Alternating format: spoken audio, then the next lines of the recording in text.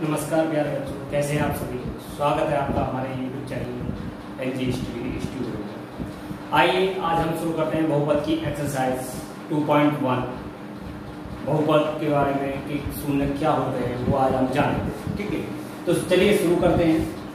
हमें एक्सरसाइज 2.1 में जो ग्राफ दे रखे हैं ग्राफ के according Y equal to P X जो हमारा कह रहा है और इसमें ये कह रहा है ग्राफ में कि पी एक्स के शून्यों की संख्या ज्ञात कीजिए, यानी कि उसके रूट्स ज्ञात कीजिए। ठीक है? तो रूट्स कैसे निकालेंगे? जैसे कि ये ग्राफ है, ये एक्स एक्सिस ये एक्स डैश एक्सिस ये बाई एक्सिस ये बाई डैश एक्सिस तो इसमें जो लाइन जा रही है, वो ये जा रही है और इस पे हमें बताना है कि एक्स के शून्य हो सकते हैं। तो एक्स पे कहीं भी ये लाइन नहीं काट रही है एक्स पे कहीं भी ये लाइन नहीं काट रही है तो यहाँ पे जो शून्य होंगे वो ज़ीरो हो जाएँगे। शून्य जो होंगे, वो ज़ीरो हो जाएँगे, क्योंकि उस एक्स पे वो नहीं काट रही है ठीक है? बात करते हैं इसकी। ये वाला जो ग्राफ है, इस वाले ग्राफ में जहाँ यहाँ एक्स पे काट रहा है, एक तो यहाँ काट रहा है एक्स पे, ठीक है? और कहीं भी एक्स पे नहीं काट रहा है। तो शून्यकों की जो संख्या है शून्यकों की जो संख्या है, वो होगी एक। यहाँ पर एक एक्स पे सिर्फ़ एक बार ही काट रहा है। दो तीन बार काटता तो जो है दो या तीन शून्य हो जाते हैं ठीक है? अब यहाँ आ जाइए तीसरे वाली ग्राफ में। तीसरे वाली ग्राफ में देखिए एक तो यहाँ काट रहा है, एक यहाँ काट रहा है एक्स पे और एक यहाँ काट रहा है, ठीक है?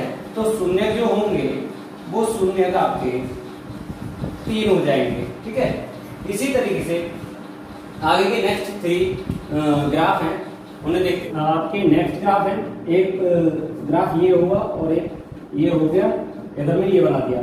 ठीक है, अब इस वाले ग्राफ की बात करते हैं। इस वाले ग्राफ में जो एक्स जो पी एक्स के जो शून्य है, वो देखिए एक्स पे एक तो यहाँ काट रहा और एक काट रहा यहाँ पर। तो एक्स के जो शून्य होंगे, वो कितने हो जाएँगे?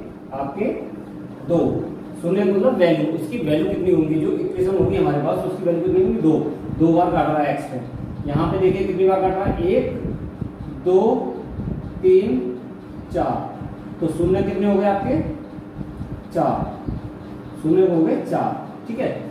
इधर देखिए, यहाँ कितनी बार काटना देखिए एक, दो, तीन। तो शून्य को हो गए आपके तीन। ठीक है? तो इस तरीके से हम ग्राफ के ज़रिए शून्य को की संख्या हम निकाल सकते हैं। ठीक है? ये एक्सरसाइज यही खत्म होती है। आज के लिए इतना ही। तब तक के लिए धन्यवाद।